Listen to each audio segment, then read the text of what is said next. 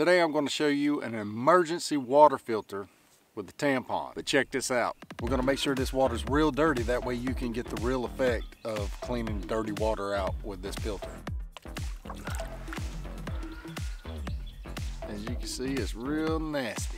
Once again, you're gonna pop it open, pull it out, you're gonna squeeze it down. Squeeze it down like that till it's nice and round. I've already cut the end of a soda bottle off. You're gonna slide this tampon right up inside there. Take your dirty water that we just collected. See all the dirt and debris and nastiness in there? Now just filter it into another bottle.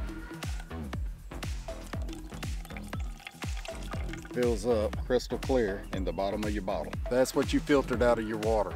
Remember, when you use this method, you have to boil the water. It does not filter out pathogens, so you have to kill the bacteria and the viruses.